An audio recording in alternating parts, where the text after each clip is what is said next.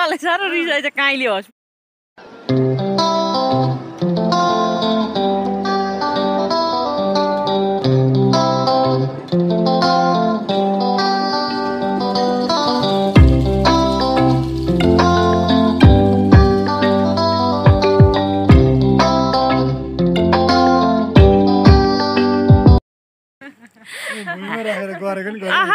हेर्नु त म त पाहुना बोलाएँ क्या हो। यहाँ मोसो लाग्यो। यसो मोसो लाग्यो भने त पाहुना बोलाउँछन् भन्थे त। हेलो नमस्ते स्वागत छ तपाईँहरूलाई हाम्रो च्यानलमा। अहिले चाहिँ भने चाहिँ माथि काका कान्छा काकाहरूकोमा पनि टिका लगाइसक्यो आज अब योपालिको दसैँको चाहिँ यता चाहिँ सक्यो भनौँ न। अन्त अहिले चाहिँ हाम्रो बाउ आउँदैछ बाउ पनि ऊ पर आउँदैछ नि साइली। अन्त आशा भेना हाम्रो भेना यता चाहिँ भेना हो कि? भेना हो? अन्त अस्ति असारमा आएर रोपेको धान चाहिँ कस्तो भयो भनेर चाहिँ धान हेर्न लागि खेतमा जाँदैछौँ कतिको फलेछ अन्त बिउ काटेर धान रोपेर गएको। अनि कस्तो भएछ भनेर चाहिँ हेर्न आएको। यो साइली के बुक्याउँदैछ सिम्मल तर बुक्याउँछ यो फेरि यो। मासु नखाएर सिम्मलै खान्छ मरि अन्त अब चाहिँ आइज। अमिलो बसेछ। अबै भकिमालो भकिमुलो भकिमि भकिम्लो हेर्नुहोस् त भकिम्लो फलेछ। अबै दही जस्तो लागिरहेछ त यहाँ त। अबै हेर अमिलो हुन्छ यता दही चाहिँ? अमिलो।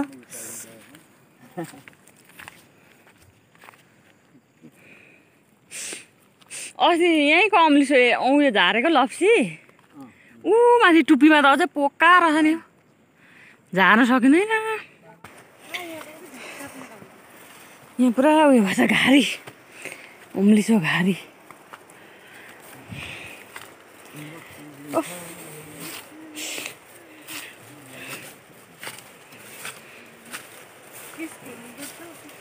दाल त खोइ यहाँ मालदाजुको पनि त्यस्तै आएछ के चाल पऱ्यो योपालि दाल थिएन होला। हेलो? दाल भन्ने दिन थिएन पानीको होला नि। एक टुक। ए। कसले उयो गरेको? सरकारले बाँडेको? अनि तिन टुक्राले आइपुग्छ त पानी? ए कहाँ छ अम्बक? ए हो र टिप त ओइरिनी न स्वाद थाम्छ नि यसलाई आम्मा साँच्चै हेर्नुहोस् है यो चाहिँ होइन हिमाल दाजुको है अँ, यो चाहिँ माइला दाजुहरूको हो हुन चाहिँ हामीले नै कमाउँथ्यौँ तर यहाँबाट उँधो चाहिँ दाजुहरूलाई दिएको छ यो पालि अर्को पालिदेखि चाहिँ हाम्रै हामी नै कमाउँछौँ होला चढ न रुखमा हल्ला त्यसो भए झार अमिलो हो कि गुल्ले हो यो हो आइसला ऊ पर हेर्दा छैन कस्तो भागिरहेछ थुक्क झर्दै होस् अब होस् होस् थाम्दैन होस् थाम्दैन आँसुले थाम्छ चढ न। गरेर झारेको टिभी दिएको मैले होस् हौ बाउ पर पर छ नि त।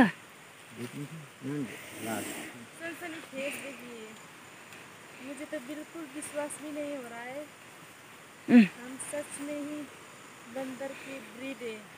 नहीं के तेरो बन्दरको ब्रिड अरे।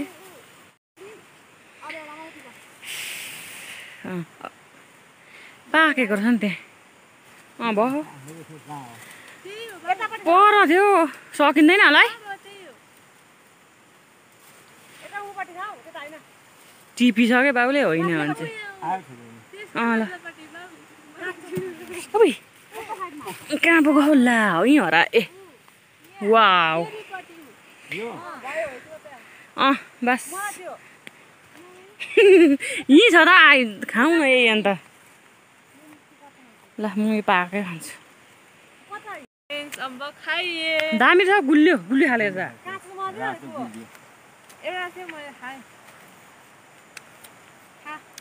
बुढौली मिठो छ। रातो ढुङ्गा उसका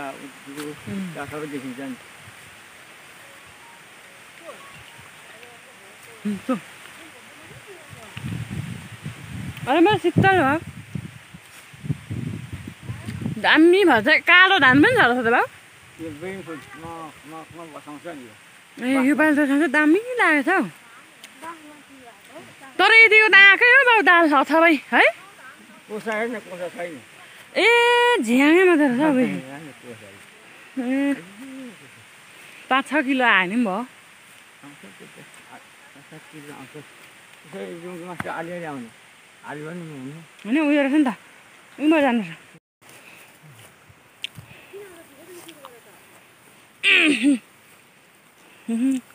आलीबाट त बुङ्गै लड्यो अन्त गयो त आइ अस्ति नै यहाँ ढुङ्गा बसेर खाजा खाएको हामीले असारमा ए उहाँ त कसै त फुलेछ है धान है बाउ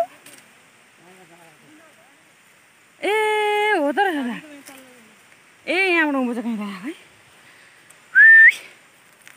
गल्यो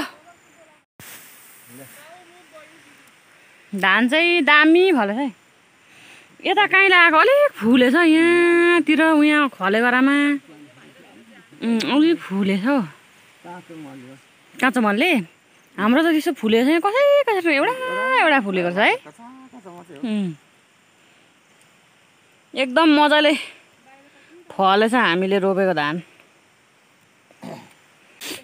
आऊ है बाउ मेरो फोटो बिसा भयो एकछिन फोटो खिच्यौँ यहीँ धानबारीमा आएर सनक्कै चारजनाले। दादा त आउनु भएन उकालो उकालो पर्छ अल्छीले खासमा चाहिँ तेर्सै पर्थ्यो। लु सक्यो अहिलेलाई लु। फोटो सोटो पनि टन्नै खिच्यो धान पनि हेऱ्यो दाल पनि हेऱ्यो। अब जानुपर्छ घरतिर। हावाले धन्न लडान रहेछ हौ। अब आएन भने त अब कहिले पाक्छ बाउ पोहोर त आउँदाखेरि पाक्दै थियो होइन औँसी अगाडि काट्नु। ए ठिकै हुन्छ क्या त्यति बेला? पाक्छ सबै। पन्ध्र दिन पन्ध्र दिन अझै पुर्ने कहिले? पुर्नेदेखि उता पन्ध्र दिन हो अन्त। अब हप्ता। दिनमा चाहिँ खलेर काट्नु पऱ्यो अनि लिप्ला गर्नु पऱ्यो अनि यतिमा भनेको। एक दिन एसपेन बस्नुपर्छ एसपेन एनओसी दिइसकेपछि एब्सेन्ट बस्नेलाई फेरि गाडीसँग बोलायो अस्ति। किन? अनि एनओसी दिइसकेपछि स्कुल जानै पर्छ नि त। अनि बेला बेला एब्सेन्ट त बस्नु पऱ्यो नि त हौ। बिमारै भएर बसेर पनि अनि गार्जेनसँग जानै पर्ने त के त्यो एनओसी दिइसकेपछि अब जे मेरो सिधै भन्नु नि हौ अन्त हाम्रो त उयो त्यो धान काट्नु थियो भन्नु नि अनि धान त काट्नु पायो नि त हो नि।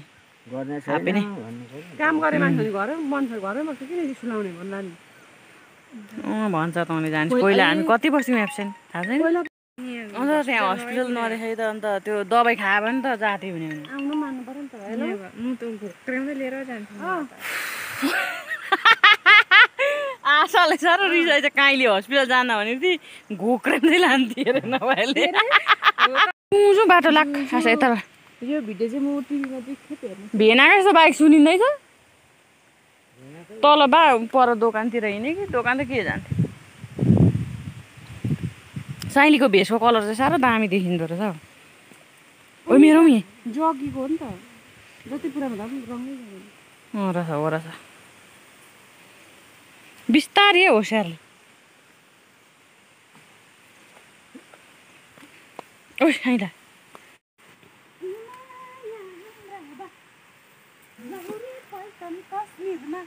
आइला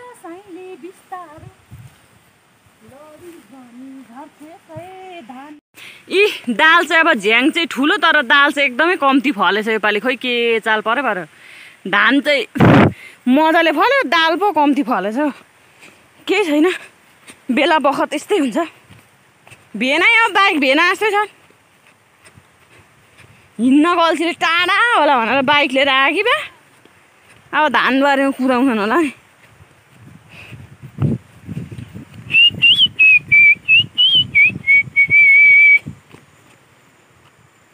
हाँ हवा के झोंके आज मौसमों से रूठ गए। बदल रही है आज जिंदगी की चाल जरा। सवार लूं। यहाँ त चिप्लो भएछ त पानीले खोइ हौ गाई पनि पालेछ? ऊ गाई छ त बाउ अन्त उपर ए त्यो भीमे दाजुहरूको? ए म त छक्कै परेँ नि गाई पनि छ रहेछ भनेर। ओफ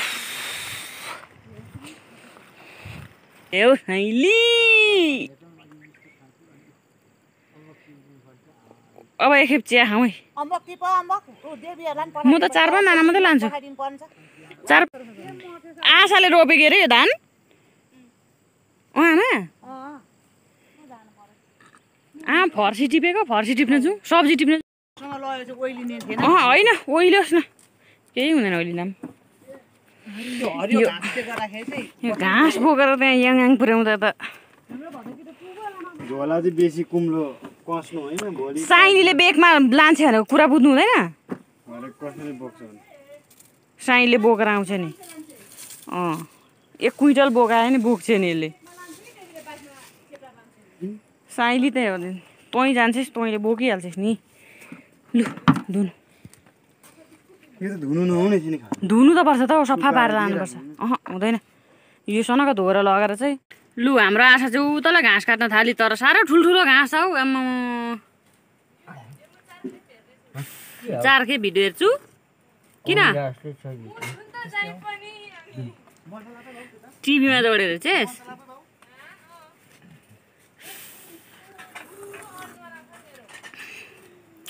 इत्रु इत्रु घाँस छ। तर बाछाले मजाले खान्छ नि यस्तो है। अर्सितै आमा खाँदा निकै पो रहेछ है। सानो सानो फलेको तर पाकिसकेको छ है। यहाँ छ त्यहाँ छ उपरतिर पनि छ रहेछ अन्त ऊ त्यहाँ सानो सानो तर मिठो छ अरे। के गर्नु राख्नु? अनि भोलिपछि यसो काहीँ कोठे बारी फ्यार्सी बोकेर। यो चाहिँ मिठो खालको फर्सी अरे कि मिठो? यहाँ सब्जीहरू अलिअलि फलेछ बेगुनहरू। बेगुन त हाम्रोमै छ। भोटे धनियाँ पनि रहेछ भोटे धनियाँ फल्दैनौ अम्बक। यो त पाकेछ। कस्तो लाइटले गर्दा कस्तो देख्यो? पाकेछ। ये देखो बड़का वाला है। उम्, यो त दामी होला है मिठो है। यस यस। बाँदर सुन कुद आजकल चाहिँ बजारमा यो अम्बक भर्खर भर्खर निस्किँदैछ नि त पुरा बिक्री हुन्छ आमाले बेच्नु पनि लान्छन् अरे भोलि। अनि अमिलो छ यो? च्वाक? च्वाक छ भने चाहिँ लान्छु है। आमालाई। यो तिनवटा फर्सी चाहिँ लानु लागि रेडी गरेको भोलि।